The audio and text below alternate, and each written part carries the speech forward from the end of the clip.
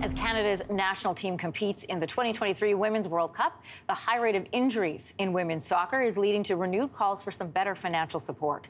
Several prominent Canadian players have been sidelined by injury this year. Experts say that ACL tears are affecting women more than men and that squads need more funding for training and for medical care. For more on this, we are joined this morning by Ellen Hyslop, the co founder of The Gist, a women led sports media brand. Good morning to you.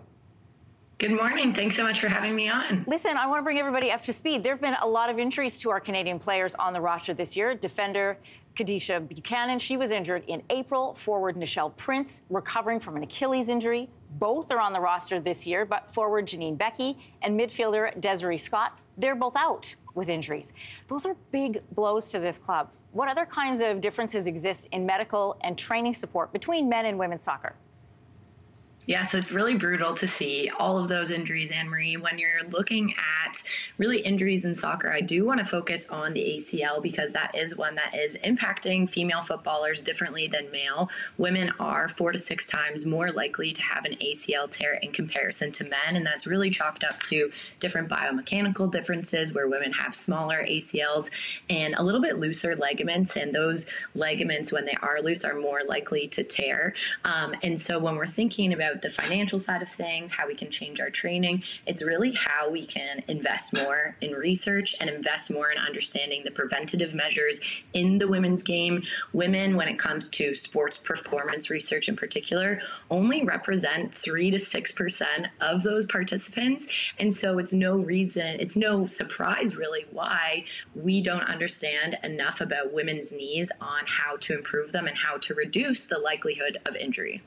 Yeah, I, I, like how Janine Beckie framed it. She told Reuters about her frustrations with the high number of injuries, saying, You've changed the schedule to mimic the men, yet you're not giving female players the same level of resources. If you're going to ask an elite athlete to play 50 games a season, you have to provide them with top of the line care. She makes a really good point. How are other athletes speaking out? Yes, and the probability just increases the more and more that women are playing and the more that it's impacting their knees. And unfortunately, this isn't only a Canadian Soccer Federation issue, this is a global women's sports issue.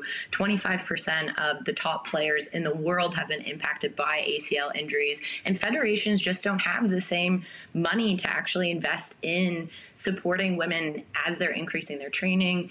The players in Jamaica have spoken up about this, the players in Zambia have spoken up about this.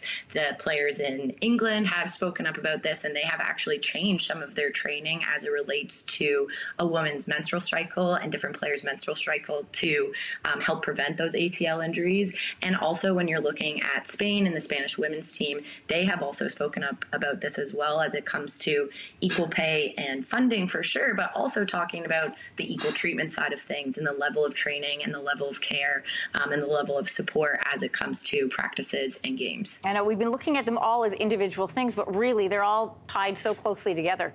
The Canadian team took job action earlier this year. That was before returning to training after Canada Soccer threatened legal action. So, what's the latest on their fight for pay equity? Yeah, so we think that the collective bargaining agreement is going to be signed any day now. The latest that we have heard from Captain Christine Sinclair is that they're on the verge of signing on the dotted line. She said that before they played their game against um, Nigeria, which of course led to a nil nil draw. So again, we're hoping any day now that it is actually going to be signed. And again, there is a difference between equal pay and equal treatment. And I think mm-hmm. what Janine Beckie is really getting at is that equal treatment to really support all of these players as they're going through these injuries and to help prevent these injuries.